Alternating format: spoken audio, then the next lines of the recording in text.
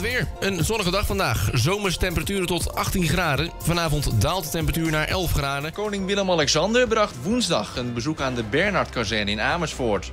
Waar hij een rondleiding door het territoriaal operatiecentrum kreeg. Wij sluiten af tot zo na de reclame. En als dat niet lukt namens het complete ontbijtnieuwsteam... en dus ook namens Ferry, een mooie dag.